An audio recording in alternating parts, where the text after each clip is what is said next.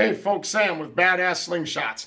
This here is the Magnum Bow Fisher. Again, designed with bow fishing in mind, um, but unlike the regular bow fisher, this one has a double set of bands, gives you a lot more power. Um, so when you're shooting during the day or you're going after that big trophy fish, you know, a lot of guys, they just wanted more power, more power, and I'm always here to make them happy. So we came up with this. Uh, still shoots the whisker biscuit, still shoots all the bow fishing reels, whether it be the bottle reel or the spin cast. Um, shoots still shoots the tubes rather than the flat bands. That gives us the rigidity to load our arrows one-handed really quick for that follow-up shot. We have the finger D-loop protector on there.